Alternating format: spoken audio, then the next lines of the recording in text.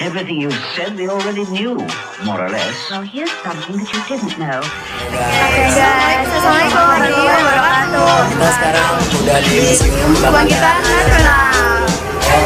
Yaudah langsung aja kita explore dalamnya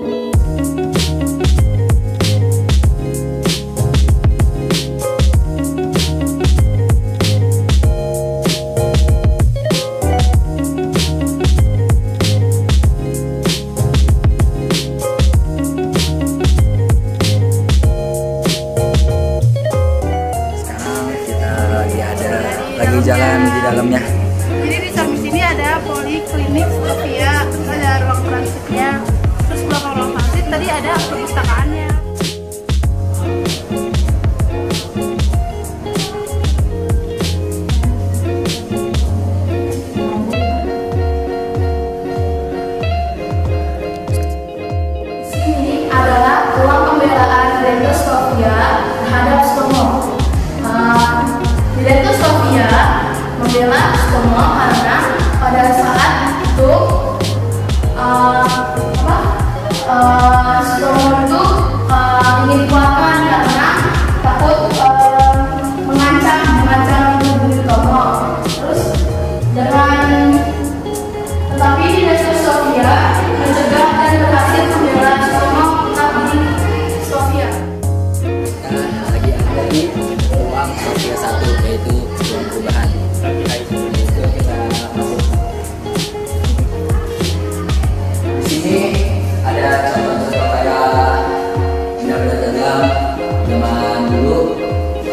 ada penjelasan tentang pengobatan tradisional di Nusantara. Terus sama awal pengobatan Hindia Belanda. Terus kita lanjut ke sini. Di sini kayak ada yang kita kenal buat gilingan jamu, ya gilingan jamu. Dan ini ada sejarahnya yaitu diperkenalkannya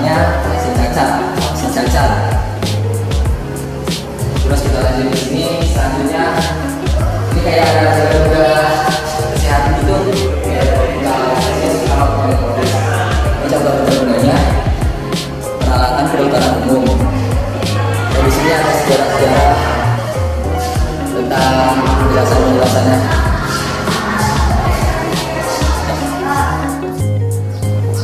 Ya, sekarang kita sudah ada di ruang Sofia yang kedua, yaitu lahirnya pendidikan dokter modern.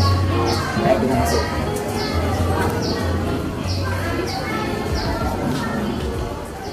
Ya, kembali lagi di ruang Sofia juga yang kedua ini sama juga ada alat-alat kedokteran, perlengkapan dokter gigi dan THT. Dan di sini ada sejarah-sejarah bermulanya dari kursus mantri cacar. Dan selanjutnya di sini ada kuster. Kalau nggak tahu kuster, kuster itu digunakan untuk mensterilkan peralatan kedokteran. Jadinya kalau yang habis pakai operasi atau apa pun disterilkan pakai alat ini. Dan di sini kayak ada alat pemecah kelapa. Alat ini pernah digunakan untuk praktek kedokteran para mahasiswa Sofia. Ini ciri bakal sekolah dokter Java. Zaman dulu sekolahnya kayak gini. Dan di sini ada ganda pensteril. Ya, ada pensteril dan ada timbangan miligram, timbangan ukuran gram, timbangan ukuran kilogram, dan timbangan analitis. Jadi di sini ada empat timbang, timbangan. Terus ada sejarah tentang kedokteran juga. Ya, sekarang kita di ruangan Sofia ketiga eh, yang yang meningkatkan dan berkembang. Ya, sekarang kita.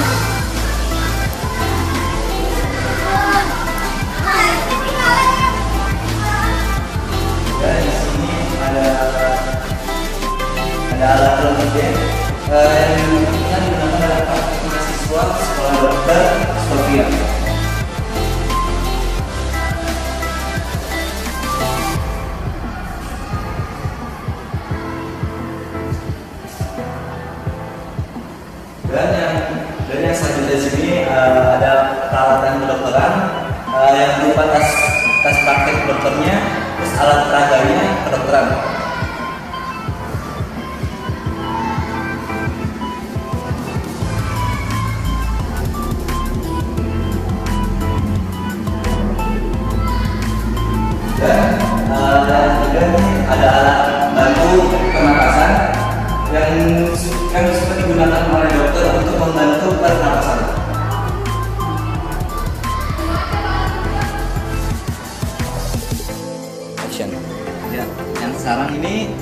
Di ruangan Sofia 4 yaitu menuju dokter Indonesia yang bukan hanya sekedar Bangladesh Art. Ya, sekarang kita masuk.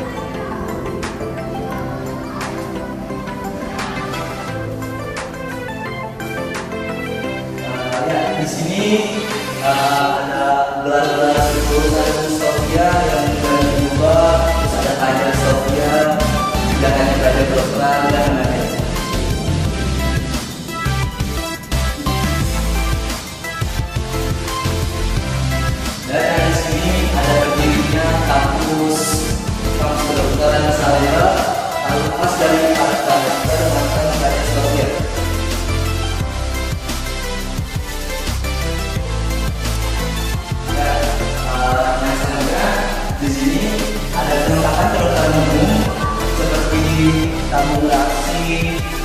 gelas-gelas kecil, alat pengukur.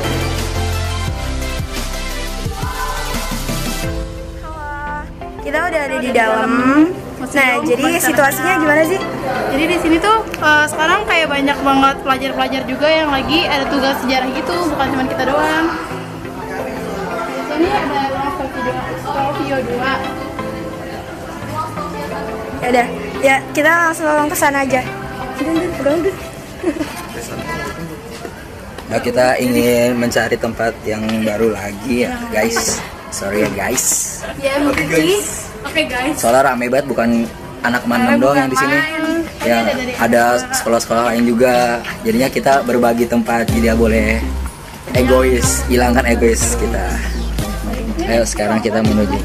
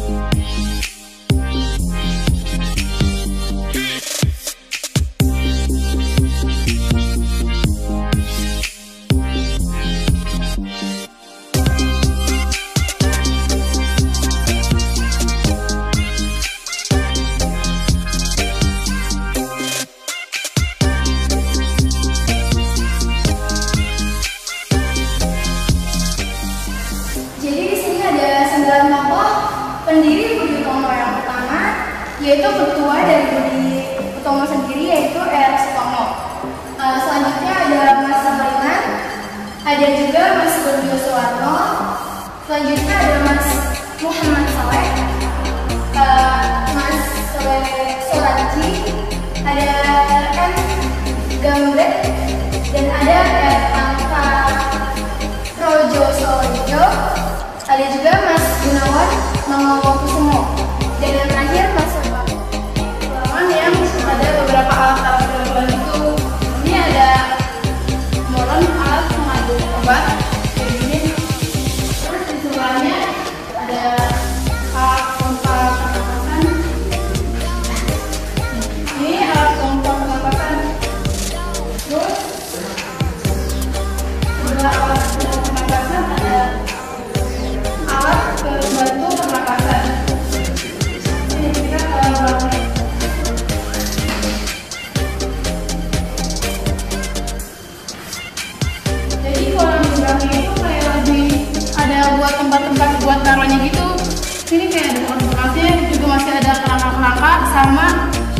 kayak ada juga kayak buah-buah kayak gitu.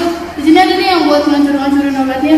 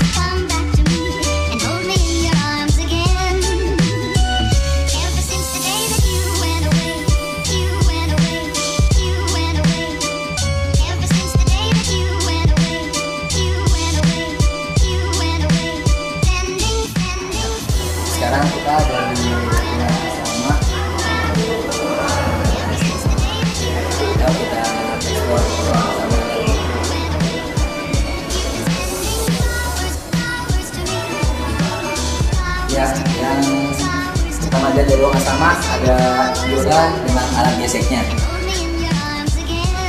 Biola ini dimiliki dari R. Mariono dan digunakan sewaktu istirahat di halaman gedung Sofia di bawah pohon jawi-jawi.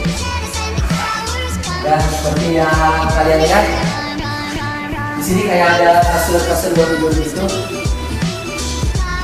Ini dulu pernah dipakai pada zaman dahulu kala.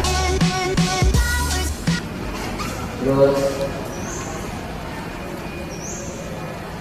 yang namanya juga ruang asrama, ya isinya pasti kayak asrama buat tempat tidur gitu. Terus di sini ada penjelasan sejarah persaudaraan dulu di asrama Sofia. Ini adalah asrama Sofia. Nah, sekarang kita lanjutin perjalanan. Tadi kita udah masuk ke banyak ruang. Terus udah ke ruang anatomi ya? Iya, Udah ke ada ruang ruang Sofia satu dua tiga empat. Terus tadi sebelumnya tuh ada ruang asrama. ya ruang asrama. Jadi kayak keren gitu banyak banget kayak kamar-kamarnya tuh kanan kiri. Kayaknya itu juga tempat penginapan gitu. kita pengen mencari ruang yang lain lagi ingin mengulas-mengulas ilmu-ilmu Di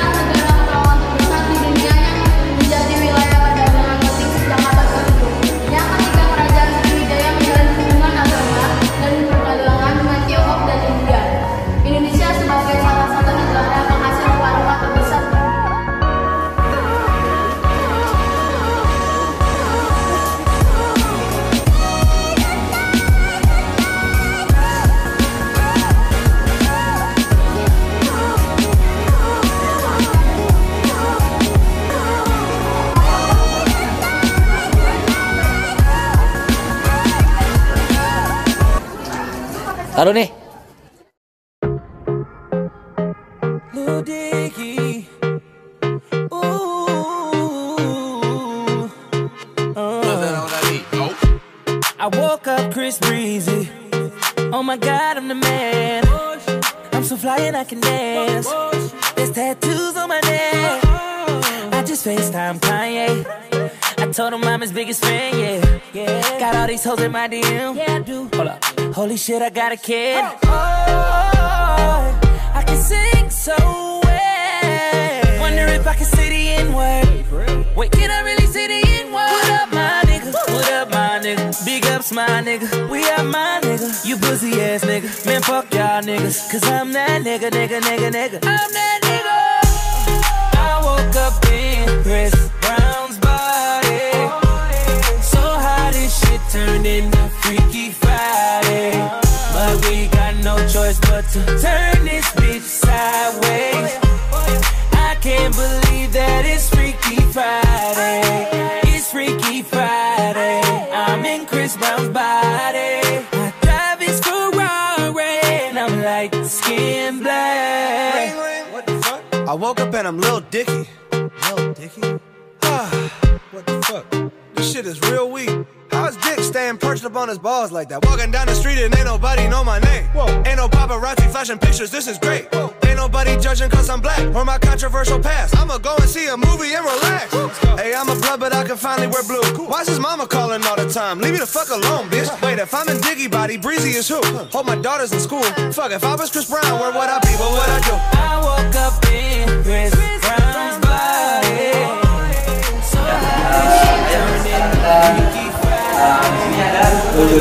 Air Baru uh, dari pengaruh besar politik etis dalam bidang pendidikan uh, adanya dibukanya kesempatan yang sama antara kaum kiai dan rakyat biasa untuk mengikuti pendidikan formal. Meskipun dalam pelaksanaannya bersifat diskriminatif. Dan selanjutnya uh, di sini ada politik etis uh, itu adanya tekanan parlemen dan pers Belanda melakukan perubahan kebijakan politik di Nusantara dan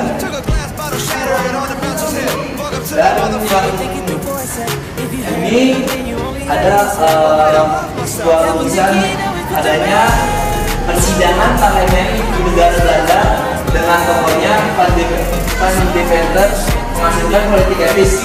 Politik etis di, di Indonesia menekankan tiga hal yaitu irigasi,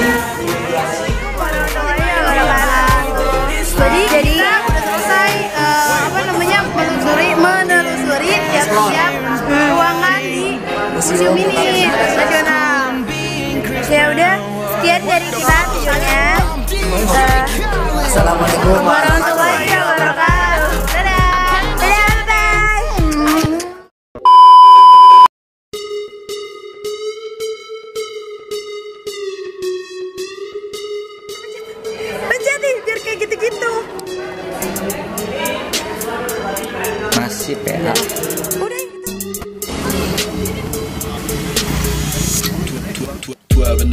shells for a living and Barry gon' smell blood trail every minute road wave and you niggas no fair. When I hit him every time I see it big I don't hesitate to kill him and nobody give a fuck about a rule.